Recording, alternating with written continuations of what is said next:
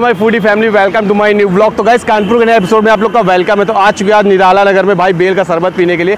तो सब कुछ तो पी लिया, गर्मी में शेक चल गए कोल्ड ड्रिंक चल गई मॉकटेल्स चल गए, और लस्सी वगैरह सब कुछ चल चुकी लेकिन अभी तक अपने पास बेल का शरबत वगैरह नहीं था। तो चलिए दिखाते हैं आपको पहले लोकेशन कहाँ पर आए निराला नगर में उसके बाद चल के अंकल से बात करते और देखते भाई कैसे बनेगा आज बेल का शरबत, और लेते हैं मज़ा आज।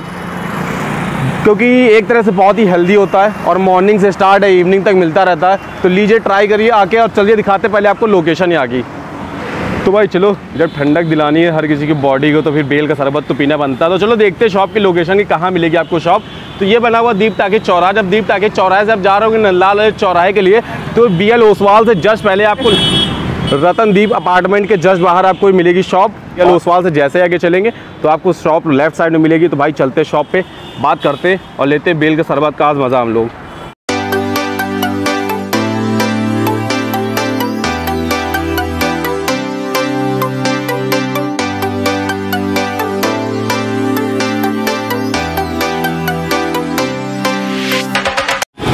सो भैया चलो आ चुके बेल का शरबत पीने के लिए। लस्सी वगैरह मॉकटेल शेक सब कुछ चल चुका बेल का शरबत रह गया था।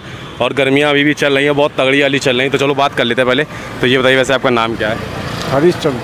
और कितने दिनों से बेल का शरबत पिला रहे हैं आप लोगों को? पाँच साल से। पाँच साल से। और क्या सारा आइटम मतलब सारा बेल का ही आइटम और कुछ नहीं एक्स्ट्रा चीनी पड़ती है। चीनी पड़ती है।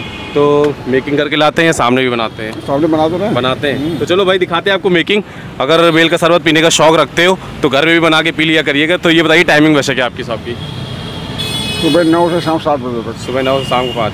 ठंडे ठंडे आओ गरम गरम होके जाओ।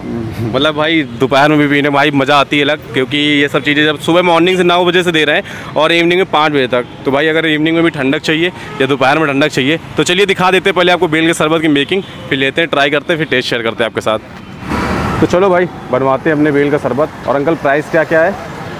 प्राइस कितना है? दस पंद्रह बीस। तो हमें कौन सा पिलाने जा रहा है? बीस वाला? जो जो आप बताओ। चलो आप बीस वाला बनाओ। तो ये बेल है पूरे, पहले तोड़े गए हैं और इनका जितना अंदर का मटेरियल है, वो पानी में डाला जा रहा है।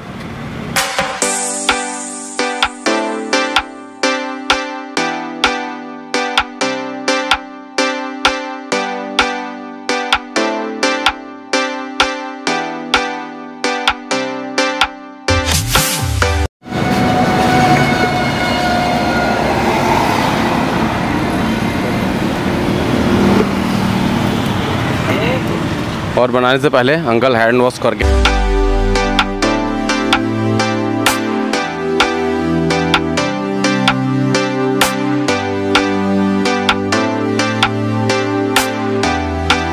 तो चलो भाई, आ गई छन्नी। तो ये मटेरियल सारा आ रहा है और ये छाना जा रहा है अपना बेल का जूस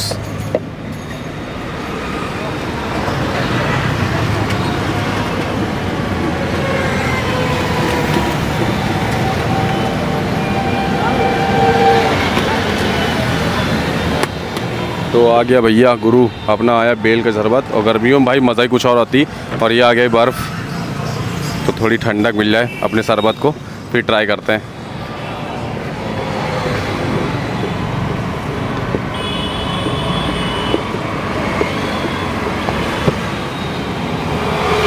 और ये आ रहा गिलास अपना।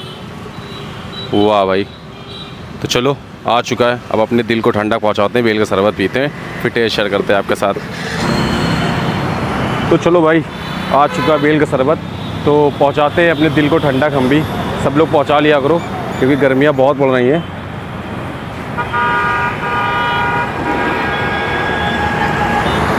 कुछ कुछ बेल मीठे होते हैं तो ये है मीठा। मतलब फीका नहीं लग रहा है, नॉर्मल मीठा है, लेकिन मीठा है। और जैसे नहीं होते मीठे तो उसमें चीनी ऐड कर दी जाती है।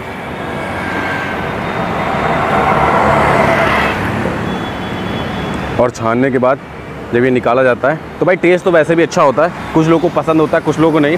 ज़्यादा कुछ शेयर करने है नहीं इसमें क्योंकि एक तरह से हेल्थ के लिए बहुत अच्छी चीज़ होती है बस इतना है। तो आप भी आइए पीजिए आके बेल का शरबत और मज़ा लीजिए। आपको यहीं बी एल ओसवाल के पास शॉपिंग करिए आके और यहाँ पर बेल का शरबत पिए और घर निकल लीजिए। तो ठीक है फिनिश करते हैं अपना बेल का शरबत। तो भाई चलो फिनिश कर लिया अपना बेल का शरबत। आप भी आइए ट्राई करिए और गर्मियों में ठंडक लेके जाइए। तो अपना आज का वीडियो यहीं सेंड करते हैं। वीडियो पसंद है वीडियो को लाइक करें शेयर करें। और चैनल पर नया तो, तो चैनल को सब्सक्राइब करना बिल्कुल ना भूले अगर सब्सक्राइब कर लिया। तो नोटिफिकेशन वाली बेल आइकन ऑन करना, क्यों भूल जाते भाई? तो बाय बाय टेक केयर कल मिलेंगे फिर कहीं नेक्स्ट ब्लॉग में।